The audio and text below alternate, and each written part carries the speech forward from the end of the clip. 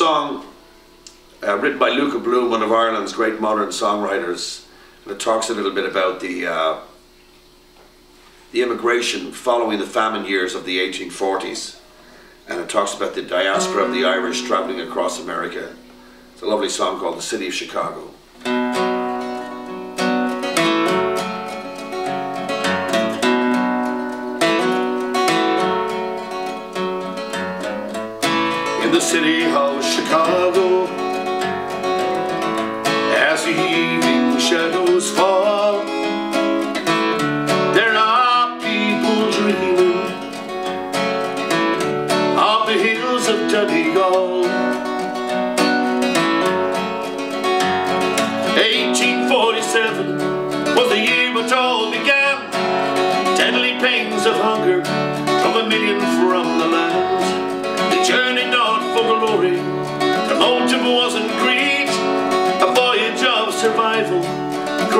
Stormy seas to the city of Chicago. As the evening shadows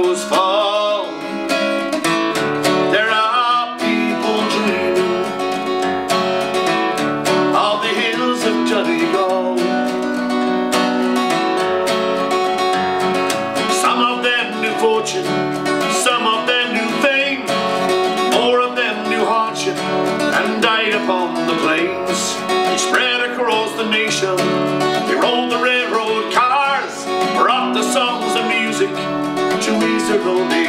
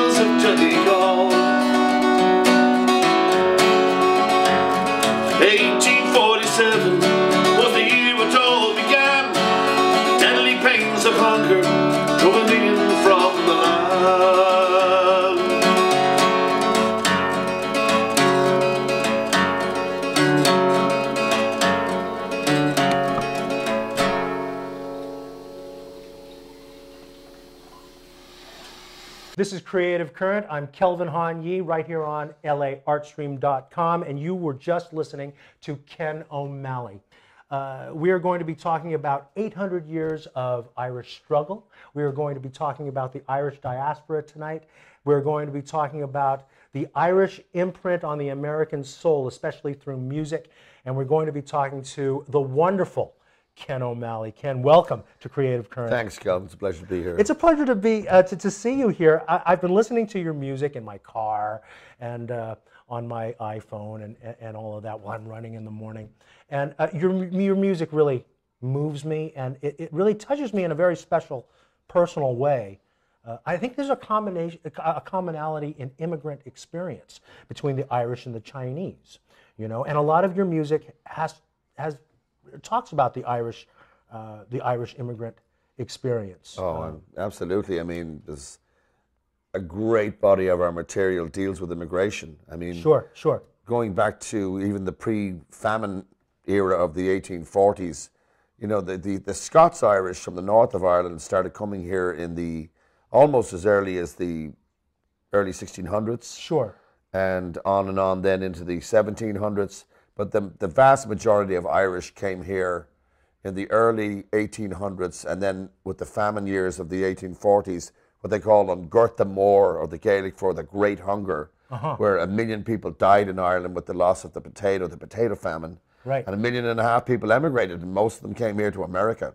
Sure, sure. Now, uh, uh, certainly uh, economic hardship, uh, but also political strife Oh, yes. uh, also caused uh, the great diaspora of, of, of Yes. Irish uh, uh, to this country, right? Um, remind us a little bit about uh, about the the political environment that uh, uh, well Ireland has has has has been under for for 800 years uh, until just recently. Yeah.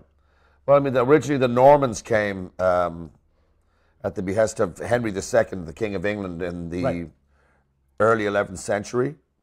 Uh, they never left. Basically, that's what happened. They Right, never right, right. left. And uh, throughout those years, even at a time up to the first several hundred years, the only control that the English had was in this small area around Dublin called the Pale. You've heard that expression, Yes, beyond the pale. Beyond the pale. The Is that where that comes from? Yes, the Pale was an area roughly 30 miles outside of the city in a semicircle. And beyond that, the English were terrified to go out there. So many of the Irish clans, the tribes, Sure. etc. But uh, nevertheless, they controlled as very much they did with the Scots. The Irish were an, um, a body of clans, tribes Right.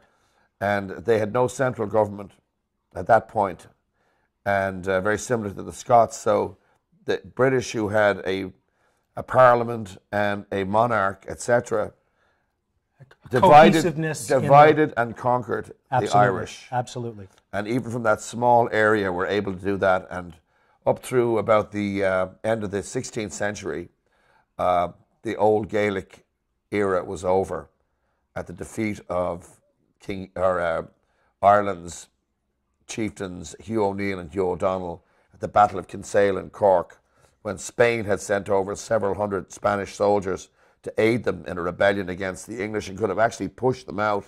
But as luck would have it, as whatever the hand of God was that day, the Irish lost the battle, and that was the end of the old Gaelic era. After that, the English really put their foot down on the Irish. Sure. And it never changed for about another 400 years. Now we're talking about this uh, because Ken Mm-hmm. O'Malley is um, he is a uh, a troubadour, uh, as it were. You are uh, you make uh, uh, you make your life uh, singing songs. Yes, sir. Uh, some some of them other people's songs, some Yeah. of them your own. Yes. Uh, you sing traditional Irish music yes, I do. right? And you sing in Gaelic sometimes, right? Yep. And uh, so uh, we're, we're talking about the history of, of, of Ireland because uh, so much of the history of Ireland is, uh, can be found in the music. The, mu- the Irish, the Scots Irish music, I, I, I kind of hesitate in talking to you to put those two together, but uh, the Scots Irish uh, lineage of music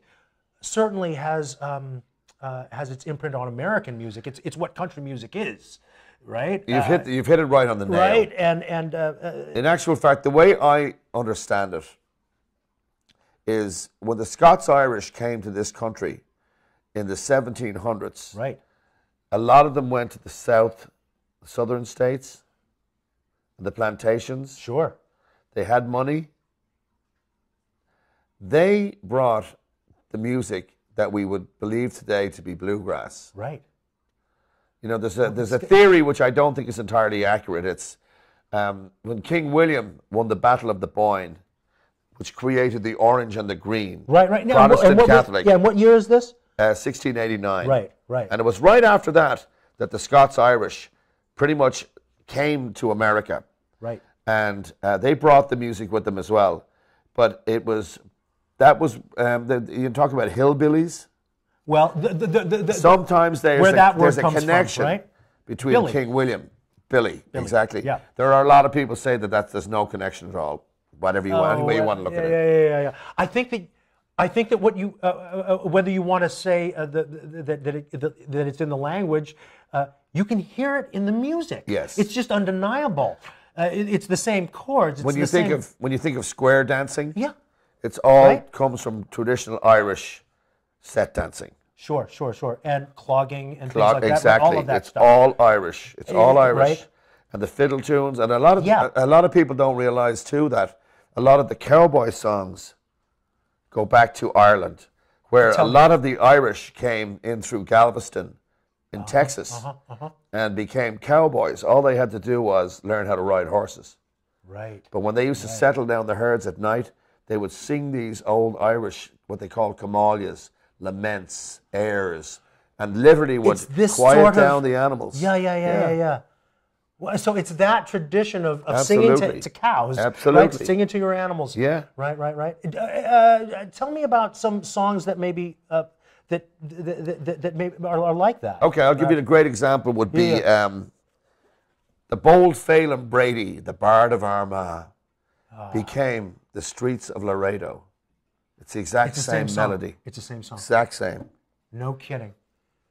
Uh, you, also uh, uh, you you you, al- you also uh, sing some um, other traditional sort of Irish songs that have history in them. Uh, Oh, yeah. Share some of that with us. Um, um, for, for instance, uh, I, I, you have somebody in your own family history, Grace. Grace O'Malley. Grace O'Malley, right, yes, right, yes. right. Gráinne Mhaol, she was known as in Gaelic. Uh, Tell us about this woman. Okay. And this is actually a person, a a woman that's in your. Well, I mean, I'm an O'Malley, so we both came from the very same part of Ireland, a little town of Westport, County Mayo, which is on Clew Bay, which is one of the larger bays in Ireland. And what was different about her was at a time when a woman could never be the leader of a clan, Sure. she inherited the ability to foresee the weather. We were a very seafaring family. Yeah. The O'Malleys literally ruled the west coast and southwest coast of Ireland with their ships and their The clan. yes, the Clan clan, did, right. and they ferried they ferried um, Scottish mercenaries all the way over around the north of Ireland, uh, who would come in and fight in intertribal, interclan wars. Uh-huh. They they would have traded uh, skins, pelts, fish, salted fish, uh, with places as far flung as Spain, Portugal, France, and bring back silks, wines, ports, liquors, fine clothing. The O'Malleys traded everywhere. So they were a fine, powerful uh, seafaring family. Yeah, must have been she- wealthy and Yes. Yeah. As she was a young girl, she actually loved the sea so much that she actually got her father to take her to France when she was about nine years old. And but she learned all the sea lanes and the reefs and all the channels and the weather from her father. So her brother, who was Donal of the Pipes, he liked to play the Irish pipes. Sure. He was much more of an agrarian type. He liked to look after the cattle herds. And in those days, Ireland's wealth was in their cattle. sure. They didn't have money, Right, right, right. or they might have had gold. Your but there was- holding was, in livestock. Your, livestock. Yeah, yeah, yeah. Exactly. So he preferred that. She took over the leadership of the fleet. And she was one heck of a woman in terms of uh, she was she gave birth at sea at one point to her youngest son during a battle against Turkish pirates. And this is no fable. This is a true story. What a story. Child was just born. They were losing the battle on deck Yeah. and she threw a sheet around her and grabbed a blunderbuss from the wall of her cabin One of those old, uh, old-fashioned pistols with gun, the. yeah. Yeah, yeah. and went on deck and everybody stopped they saw this woman clothed in a sheet of blood drenched Birth blood. and they stopped stared she shot the turkish captain rallied her men defeated the turks took their ships threw them overboard that is historical that's real That's the real. That's Yeah. the real deal. And when she was suffering so much, she had been in prison for a year by the English. yeah. She had one of her sons was uh, was um, executed by them in cold blood. Sure. She actually sued Queen Elizabeth the First Sued. in terms of she wanted to get more of a freedom for herself and her people. Yeah. She went to London on one of her ships with Scots mercenaries to protect her Sure. and had an audience with Queen Elizabeth. And, was, and that was unknown, unheard of, Yeah, yeah, especially with a woman at the time, in and those days. And, and, and, uh, And she got a pension for life. Oh, really? She was given the word that these wolves would be taken off her back, so to speak, these sheriffs in the west of Ireland that were English. And um, I mean, it was all about, in those days particularly, what the English also re- relied upon was that the tribes would go for whatever they thought was the best bet, the allegiances. If they thought their best shot was to stay on the English side, they'd go there.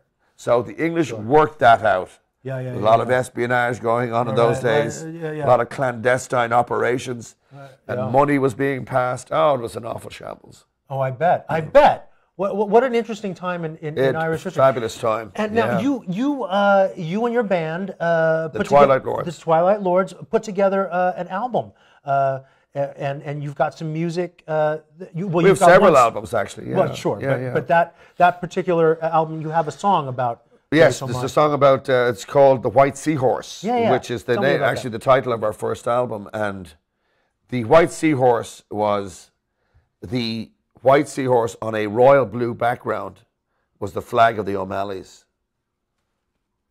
It's great. Yeah, it's That- th- th- fascinating, just it? fascinating stuff. Fascinating stuff. Uh, and uh, you now you have some other songs uh, that are about um, Irish rebellion.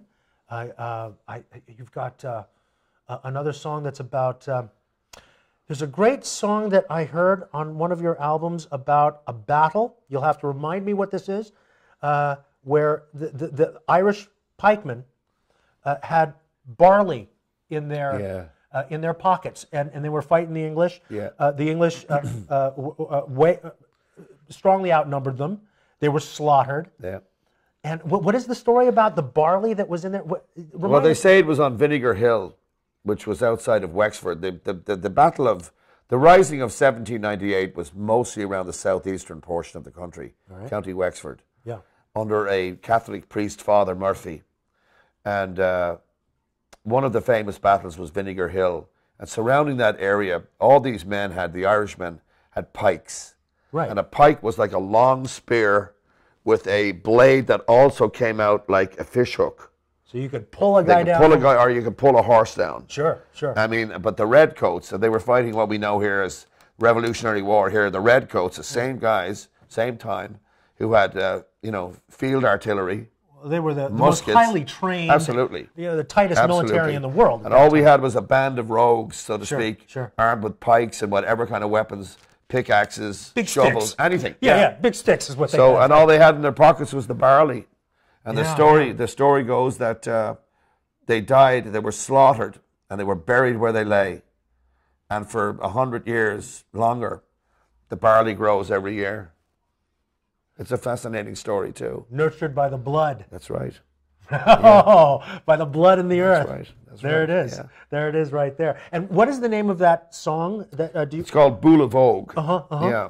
It's not actually on one of my albums, but Oh, it oh, could I'm be. sorry. Okay. Oh, I mean, there's I- a lot I- of stuff you've probably seen maybe on YouTube. Maybe. Right, there's Yeah. a lot of stuff about you Yeah. on YouTube. Uh, if you're interested in uh, seeing more of uh, Ken O'Malley's stuff, just look him up on on YouTube. Yeah. Ken O'Malley. There's plenty of stuff there, and you'll spend hours listening to Ken O'Malley tell True. stories Yeah. and, and play his guitar. A lot of my work is I go to colleges and universities or private concerts and uh, talk about Irish history, just like we're doing right now, and sing songs from various periods, right up from the early, you know, medieval stuff, 16th century, on up to uh, modern 20th century. you know, you're the best history teacher ever because, uh, well, uh, because you're telling it through the music, through the art, you know, and, and it, it just, it's just wonderful stuff. I, I want to just sort of go through and, and just sort of name some of the other um, uh, songs that, that, that, that you have in here that are, uh, uh, that are sort of based on, on uh, the Irish immigration kind of uh, Paddy's Green. Great song. Right, great song. Uh, uh, it's an immigrant song. Um, uh, a Red Rose. Uh, is, is that a love song? What, what, what, uh, My love is like a red rose. Um, What, what, what was uh, I? There was some reason why I, I, I wrote that down. I don't know. Okay, that is a song that will be on my next album. It's by Robbie Burns. Yeah. One of the great Scots songwriters, famous for his bawdy songs actually, and his pub songs. But he wrote Auld Lang Syne that we sing every New right, Year's Eve. that's right.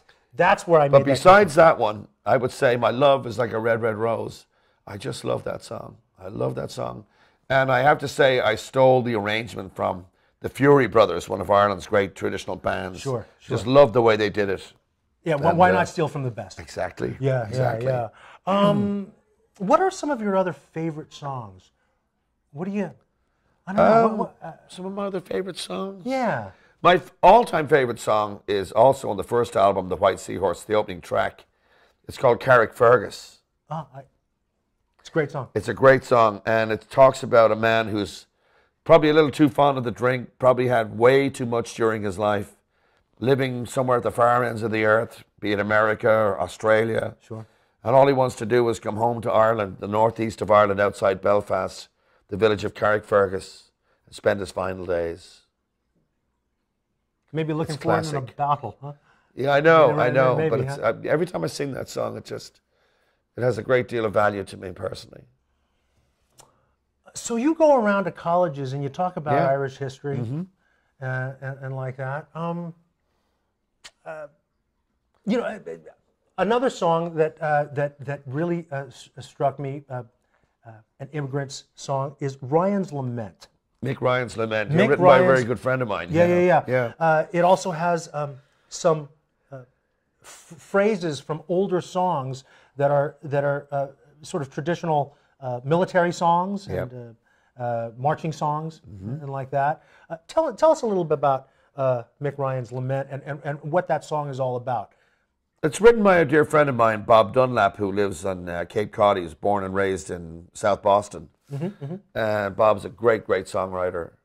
And it's a ghost story about two brothers who come from Ireland post famine years, say the 1850s, Yeah. and uh, forced to leave Ireland along with so many others. And they end up being shanghaied basically into the Union Army, as so many Irish were. Absolutely. They came off the ships, they were put in a blue uniform, sent down to fight in the South. Uh, as I understand it, uh, directly upon getting Landing, off, the, yeah. directly, Yeah. literally uh, five steps away, Absolutely. they're, they're, they're signed on to the Union Army. Exactly, exactly. yeah. And the story is it's a ghost story. It talks about how one of them dies at the Battle of Vicksburg, and his brother then, Mick, goes on to survive the war and join up with General George Armstrong Custer and has his big day in the sun at the Battle of the Little Bighorn. Ironic. Yeah. Now, the melody of the song, ironic story. the melody of the song, which Bob slowed down to add a lot of drama, is called the Garryowen, Uh-huh. and that's a drinking song from the village of Garryowen, outside of Limerick City. And Custer heard some of his troopers singing it one night, his Irish troopers. There was a lot of Irish in the Seventh Cavalry. Absolutely. And he liked the melody so much that he adapted it for the regimental music. And uh, a friend of mine who's a retired brigadier general of the 7th Cavalry told me that the music is still used by every cavalry regiment in the United States Armed Forces today. Now, it's that. So Bob slowed it down. Ah, my name is Mick Ryan. I'm lying still in a lonely spot near where I was killed by a red man defending his native land in a place that they call Little Bighorn. But I swear I did not see the irony when I rode with the Seventh Cavalry. We thought that we fought for the land of the free when we marched from Fort Lincoln the morning and the band they played the Gary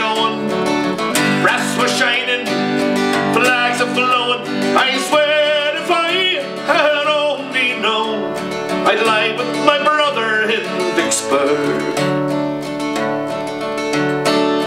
For me brother and me, we had barely escaped from the hell that was Ireland in 48. Two lonely young lads who had learned how to hate, but we loved the idea of America. And we cursed our cousins who fought and bled in their bloody coats of bloody red. Sets on the bloody dead of those who have chosen an empire. But we made a better life somehow in the land where no man has to bow. It seems right then, and it seems right now. Paddy, he died for the Union.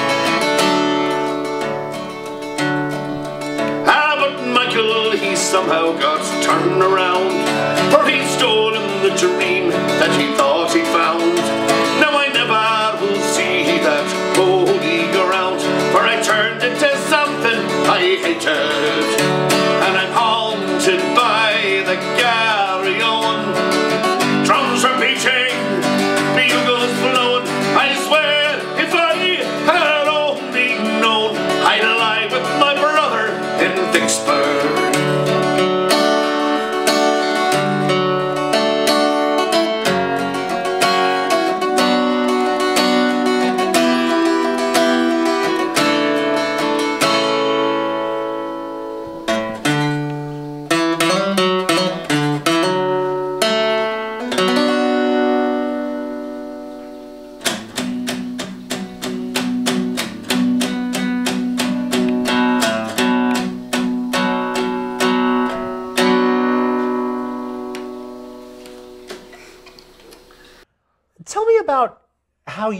Came to this country. I mean, we all fantasized about going to America, you know. Everybody does, right? In those days, I mean, it's not. I laugh when you think about 10 years ago, people in Ireland were going to New York for weekends shopping when the economy was just booming. It's not. It's it's Yeah, plummeted yeah. today, but you know, even back then, there's a there's an expression called the American wake that came about probably in the 1800s, where people that left Ireland were waked. You know what a wake Sure, is? sure. sure. Somebody a dies. funeral. Well, it was the Well- same thing. It is a funeral. Yeah. But it was the same thing because these people left for America and they were never going to be seen again. So Never. they were. Yeah, yeah. So even 35, 30, 35 years ago, I mean, it wasn't, there was just nothing like the travel that we have today over the last 10 years. Yeah. You still were going to, we're 6,000 miles, was a long way to go. And you might not ever come Now, back. if you went to New York, Yeah. if you went to New York from Ireland, not unusual to go over a few times a year. California is, you know, it's, going, it's, like, going to Australia. Right, right. You know? Yeah. So, I mean, I got home once every couple. I was about the first. I was so homesick. I went home ten months after I got here. Then it was about a year and a half, and then it started to get more and more longer periods going back. Right. Over the last seven or eight, nine years, I've gone back a lot more. Now you go back every year. Yeah. With a uh, Tour group. a tour group, right? Tell us a little bit about that because I think people would be interested. Well, I in wish I'd is. done it years ago, but I started about seven years ago, and then the, over the last five years, I've done three trips. I do it about once every 13 to 18 months. I'll take a group of about 30 to 40 people on a luxury coach tour, and I'll be the person on the bus as the guide. I don't want to take any more people so that they have Just my one bus. undivided Just attention. one bus full. Exactly. That's all you get, right. And I entertain them every night, whether it be a formal engagement or just wherever the hotel we might be staying, and I'll pull out the guitar. And How I'll, good is I, that? I know. I customize the trips so that I know where we're going. I know why we're going. I know what I want to show them. Sure. Culturally. And, and, and what, do- what do you like to show people? I'm going to show them what happened in Belfast, the troubles of the 60s, Great. the history behind it. And also, we have the Titanic. Which, is- was built. 100 years ago, built in Belfast. There's the new huge Titanic Museum, and I'm going to take them That'll to that. fun. I also want to take them to Neolithic, megalithic, I should say, tombs of Newbridge in County Kildare outside of Dublin. Would they have burial 5,000, mounds? yes, Yeah, the burial yeah, yeah, mounds. yeah. 5,000 years. Wow. Yeah, it's fabulous. So I'm taking them out there. I'd like to take them to Kilmainham Jail in Dublin, where all the leaders of the rebellion of 1916 were executed. And we'll do two days in Dublin, then go to Belfast, then go up to the Giant's Causeway, which is this hexagonal wonder of the world. It's Oh, a really? huge tourist attraction. Yeah, yeah, yeah, yeah, yeah. You, he- uh, Ken O'Malley just uh, recorded uh, an album about. Yeah, It- it- it's, it's called Forever Irish. Really. yeah, and, And, and it's, a tailgating drinking songs for the University of Notre Dame. Fighting Irish. Go Irish. fighting, fighting Irish, go Notre Irish. Dame, yeah. Uh, go Notre Dame. Yeah, exactly. Go Fighting Irish. This is Kelvin Han Yee. It's been a pleasure to talk to Ken O'Malley. This has been Creative Current on LAArtstream.com. Thanks, Kelvin. It was a pleasure.